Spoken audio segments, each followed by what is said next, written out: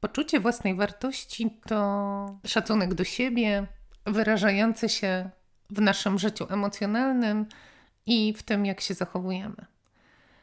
Nie jest to tylko to, co my o sobie myślimy, ponieważ na pewno znasz i widziałeś osoby, które postrzegasz jako pewne siebie, a, a tak naprawdę pewne siebie nie są, tylko mówią o sobie bardzo dużo dobrze. Nawet powiedziałabym, że mają taki sztucznie nadęty, a nawet rozdęty obraz samego siebie, czyli mają wysoką samoocenę, a jednak niskie poczucie własnej wartości.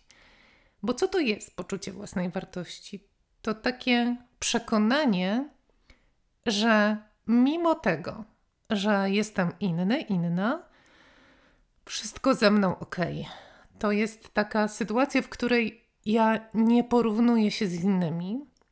To jest takie życie, w którym daję sobie prawo do tego, jak się czuję, daję sobie prawo do własnych wyborów, daję sobie prawo do tego, żeby inni mnie szanowali, żeby mówić, czego chcę, czego nie chcę. To jest tak naprawdę takie poczucie, że zasługuję na to, by być szczęśliwym, szczęśliwą, że zasługuję na to, żeby mnie kochać, a że zasługuję na to, żeby być widzianym, uwzględnianym i ważnym. Jeśli słuchasz tego podcastu, to być może szukasz inspiracji dla siebie, jak podnieść swoje poczucie własnej wartości, albo szukasz inspiracji dla kogoś, kto jest dla ciebie ważny, bo widzisz, że jest mu trudno. Pozwól, że zacznę od tego, że opowiem, jakie są konsekwencje niskiego poczucia własnej wartości, czyli jakie płacisz koszty lub jak rozpoznać niskie poczucie własnej wartości u innej osoby, z czego to wynika, a potem powiem bardzo dużo o tym, co możesz zrobić, żeby pomóc sobie lub innym. Pierwsza rzecz, która cechuje osobę z poczuciem, z niskim poczuciem własnej wartości, to poczucie wstydu. Ale takiego wstydu, który jest wstydem który dostaliśmy od otoczenia, takiego wstydu, który jest emocją społeczną, mianowicie a, coś takiego, co nosisz w sercu, takie przekonanie, że jesteś gorszy, gorsza od innych, że zachowujesz się w sposób, którego należy się wstydzić i który powoduje, że mm, no, zaczynasz mieć spuszczoną głowę. E, ludzie, którzy mają niskie poczucie własnej wartości, nawet tak w postawie są lekko wycofani. Powiedziałabym, że mają takie przekonanie, że nie mogą innym spojrzeć w oczy, że nie mają w sobie tej godności. To powoduje, że często mają po prostu spuszczoną głowę, a wiesz, na spuszczoną głowę nie można ubrać korony. Czyli ten wstyd powoduje, że mamy poczucie, że nie zasługujemy na godność królewską. Z tym wiąże się nieustanny pesymizm i takie przekonanie, że inni mają lepiej. Oczywiście jest to związane z tym, że osoba z niskim poczuciem własnej wartości porównuje się z innymi i zawsze, absolutnie zawsze na tle tych porównań wygląda, wypada gorzej. W związku z tym ma takie przekonanie, że jest gorsza, a jak jest gorsza, to niczego nie osiągnie. No i to są takie myśli, które zatrzymują nas w działaniu. Kolejny element to zamartwianie się o przyszłość. Wiesz, martwić się to czynić kogoś lub siebie martwym. Jeśli zamartwiasz się o swoją przyszłość, to jej nie ma. To tak jakbyś był trupem w dzisiejszym życiu, bo tam nie ma życia. Czyli osoba o niskim poczuciu własnej wartości jest tak omotana tym, że może się stać coś złego, że wydarzy się coś złego, że nie da rady, że nie potrafi żyć tu i teraz. Nie, nie żyje w życiu teraźniejszym i wizja złej przyszłości no, wycofuje ją z życia. Czyli mm, powoduje, że my przestajemy działać, a co za tym idzie, nie potrafimy podjąć decyzji. No bo zobacz, jeżeli uważasz, że nie zasługujesz, jeżeli uważasz, że nie dasz rady, bo inni są lepsi, jeśli martwisz się, że konsekwencje Twoich działań będą negatywne, nie podejmujesz decyzji, stoisz w miejscu, nie rozwijasz się. Osoby z niskim poczuciem własnej wartości to są osoby, które tak jakbyśmy byli jakimś krzewem, które same sobie przycinają cały czas gałązki i no po prostu karłowacieją. No bo nie mamy szansy się rozwijać, jeśli nie eksperymentujemy, jeśli nie działamy po nowemu, jeśli nie próbujemy. Łączy się to z ogromną trudnością do radzenia sobie z krytyką. No wiesz, zawsze jest tak, że jeśli podejmiemy jakieś działanie, to komuś się to nie spodoba. Nie zawsze to nie spodoba się będzie oznaczało krytykę, ale może oznaczać tylko niezadowolenie. Natomiast jeśli um, to, czy ktoś jest zadowolony, czy niezadowolony, bierze górę nad tym, czy ty żyjesz w określony sposób, to znowu powoduje to to, że jesteś w ciągłym cierpieniu. Osoby o niskim poczuciu własnej wartości dosyć często wypowiadają takie zdanie: On mnie zranił, on mnie dotknął, ona sprawiła mi przykrość. Wiesz, ludzie robią swoje rzeczy. Niezależnie od nas, nawet jeśli krytykują, to to jest wyraz tego, co dla nich ważne. Ale kiedy ma się niską samoocenę, to bierze się to przeciwko sobie. To tak jakbyśmy cały czas um, wkładali sobie jakieś ciernie w rękę albo w bok, albo a, no, łapali kolejne cierniowe korony. I ostatni element niskiego poczucia własnej wartości mogłabym nazwać takim snem o doskonałości. Co to znaczy? To znaczy, że e, ciągle potrzebujesz dążyć do perfekcji.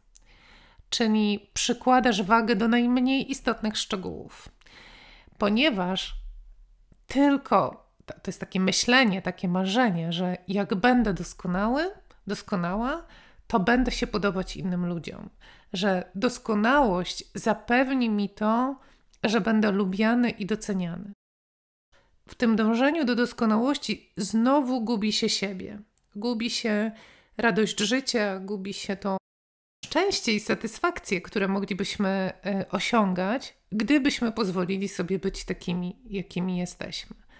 Zobacz, tak podsumowując, mm, to osoba z niskim poczuciem własnej wartości to krzew, który nie może wydać owoców, ponieważ cały czas sam siebie przycina. Z czego się to bierze? Dlaczego to jest tak, że my mamy niskie poczucie własnej wartości? No bierze się to z tego, że prawdopodobnie słyszeliśmy dużo krytyki w dzieciństwie, ale nad tym bym się nie chciała zatrzymywać. Bardziej zatrzymałabym się na tym, że takim głównym korzeniem, takim korzeniem, który ciągle w nas gnije i ciągle powoduje, że nie możemy żyć pełnią życia, to są oczekiwania innych. Oczekiwania innych, które wiązały się z brakiem akceptacji dla nas samych. Czyli prawdopodobnie nasi rodzice mieli oczekiwania co do tego, jacy będziemy. No i teraz wiesz, wyobraź sobie, że rodzic wy, wyobraża sobie, naczytał się, jak to można wspaniale wychować dziecko i jaką można z nim budować więź, a jakie ono ma być, a potem ono rodzi się inne, czyli ktoś czekał na rubin, a urodziła mu się perła, albo czekał na diament, a dostał szmaragd albo szafir. W związku z tym rodzic może mieć trudność z zaakceptowaniem swojego dziecka. I teraz, jeśli nie akceptuje, no to co robi? No to zwykle je poprawia. Czyli cały czas daje mu do zrozumienia, że jego zachowania są niewłaściwe, że nie spełnia norm, że nie spełnia oczekiwań. Za mało grzeczny, za mało zdolny, yy, za wolny, yy, za mało zaradny, no jakiś nie taki. I teraz, kiedy rodzic, który nie akceptuje tego, jakim jest jego dziecko, wypowiada te wszystkie zdania pod jego adresem, to jest oczywiste, że w dziecku rodzi się pierwotne poczucie winy. Takiej winy, że nie spełnia oczekiwań. I za tym poczuciem winy idzie takie głębokie, trujące przekonanie, że nie jesteśmy kochani tacy, jacy jesteśmy. I teraz dziecko potrafi sobie wytłumaczyć taki stan tylko tym, że nie zasługuje na miłość. Nie jest zdolne do myśli, że błąd leży po stronie matki lub ojca.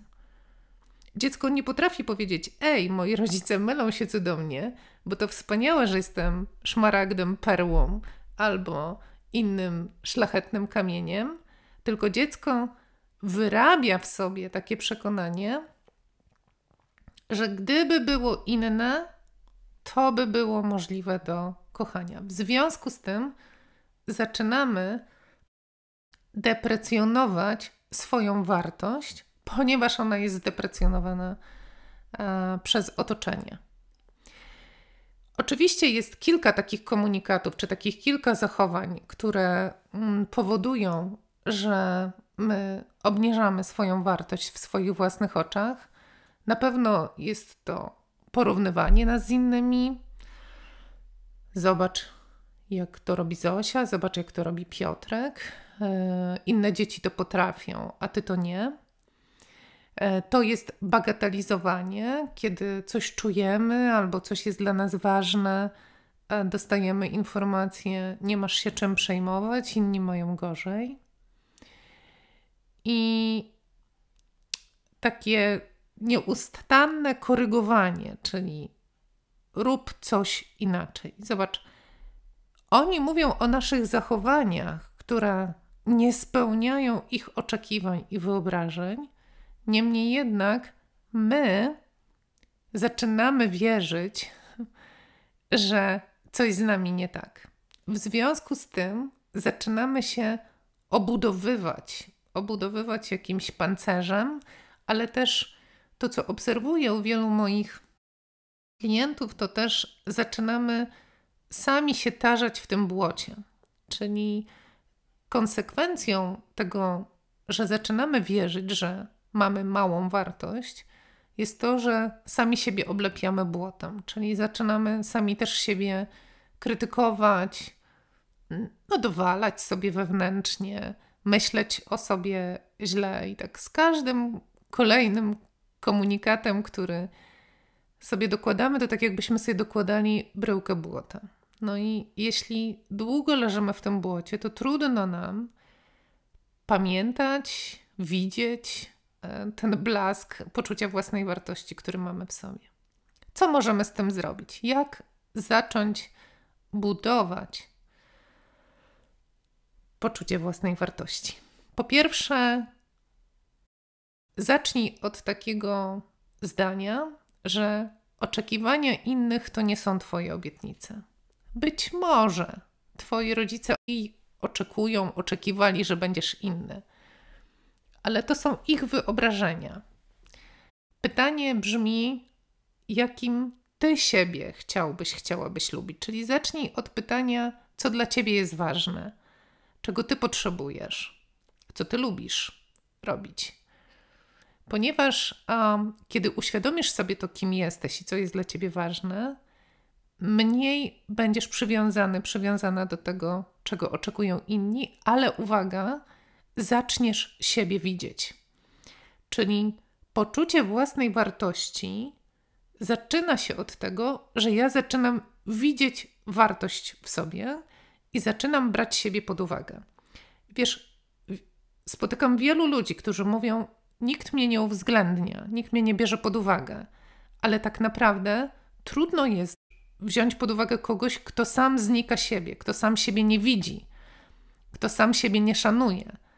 Czyli pierwsza rzecz to jest wiem, kim jestem i wypowiadam rzeczy ważne dla mnie.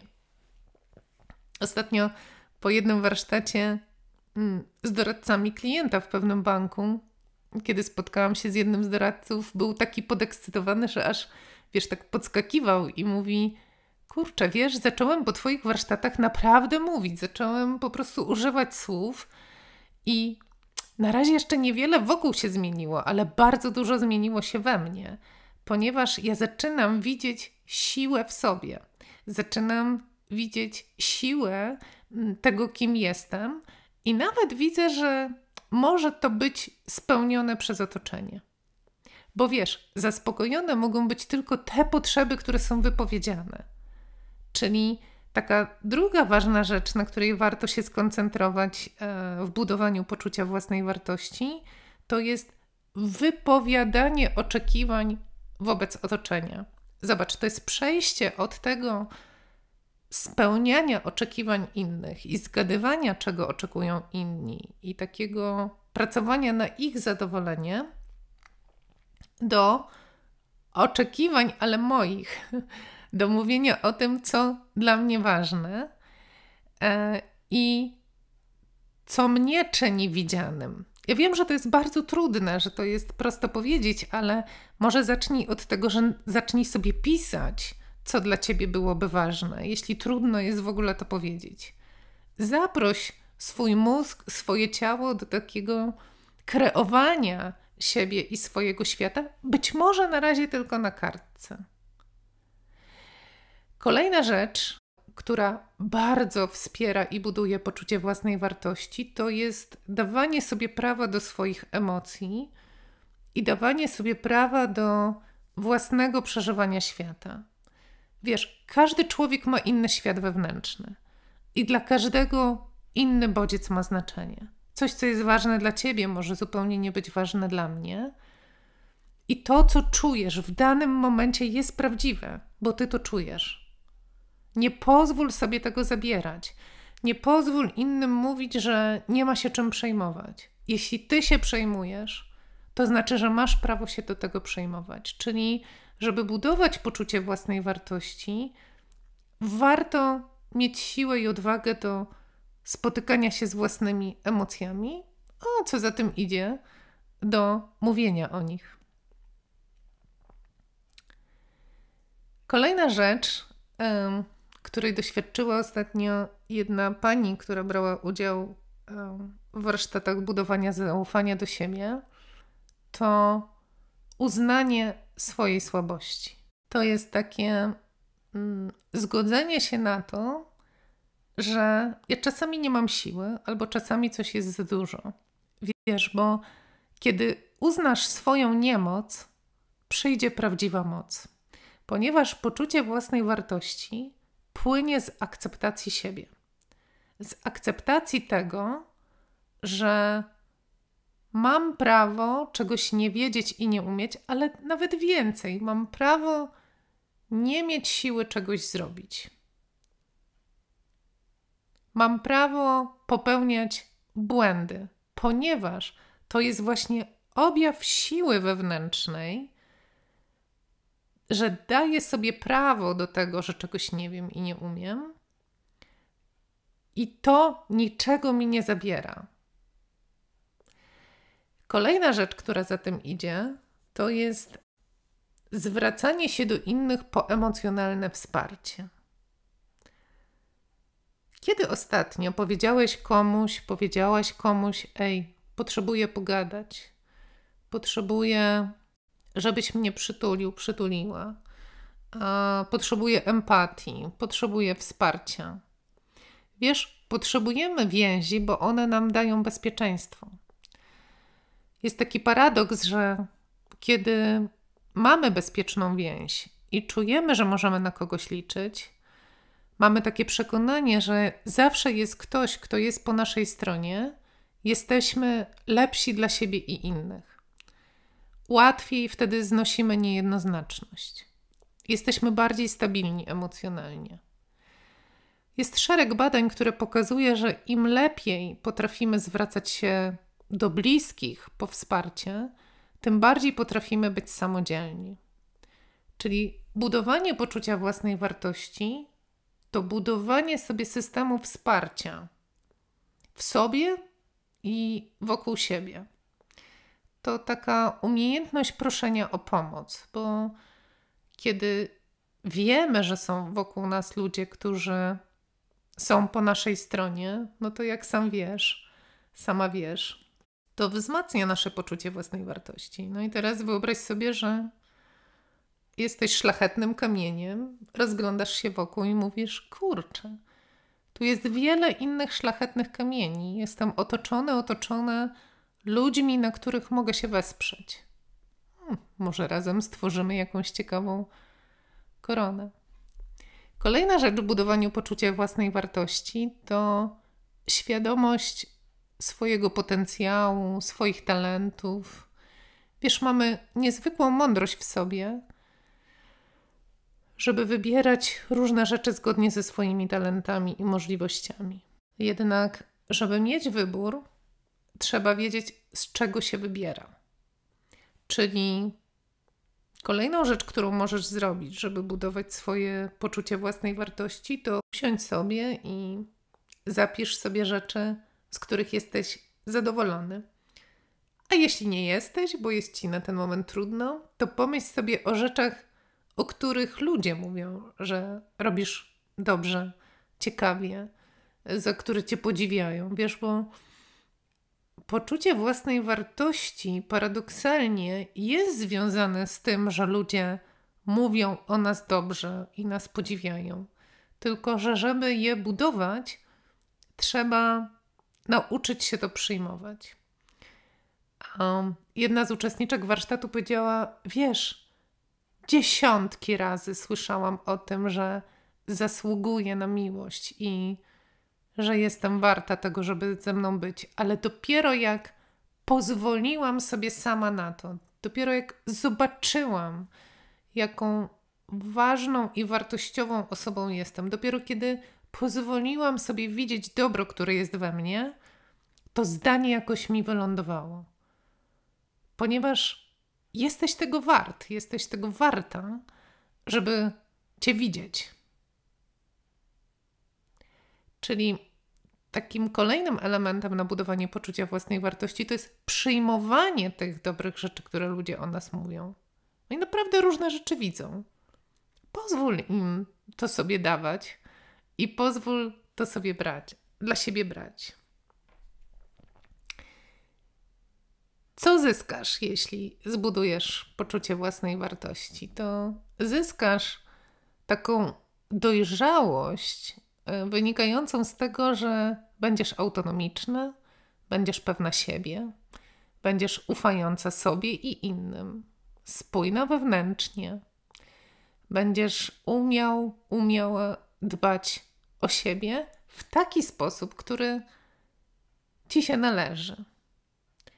E, w prezentem, czy takimi elementami, które będą cię wspierały, będzie rodząca się w tobie nadzieja, która będzie ci mówiła: Możesz spełniać swoje pragnienia. To będzie wola, wola życia, wola rozwoju, która pozwoli ci mówić o sobie: Mogę kontrolować bieg wydarzeń.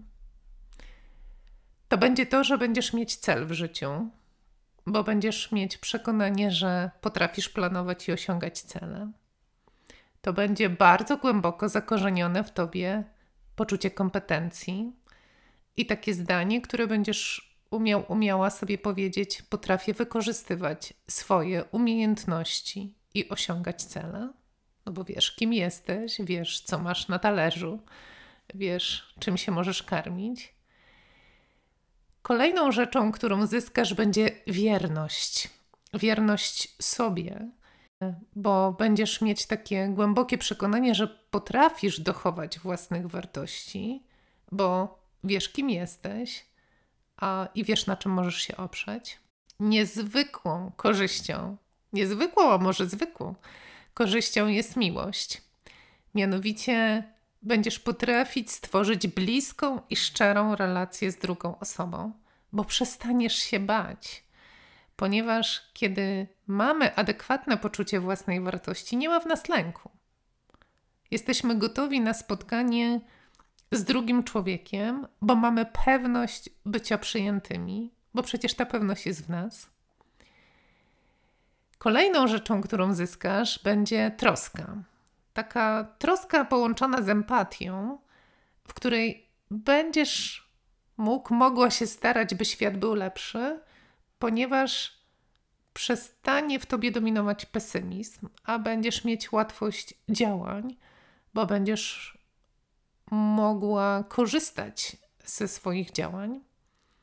I uwaga, taki creme de la creme, mianowicie osoba z adekwatnym poczuciem własnej wartości cechuje mądrość. I takie przekonanie o mądrości wynikające z tego, że po prostu jesteś zaangażowany w życie.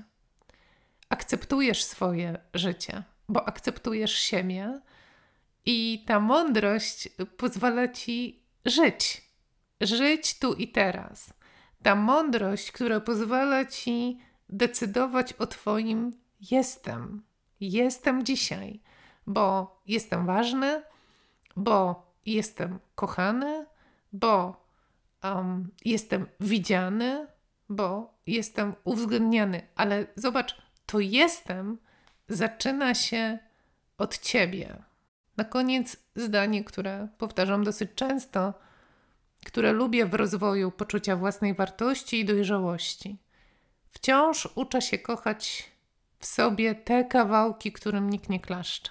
Nawet jeśli inni nie widzą, czyli nie nazywają różnych rzeczy w tobie, to one tam są.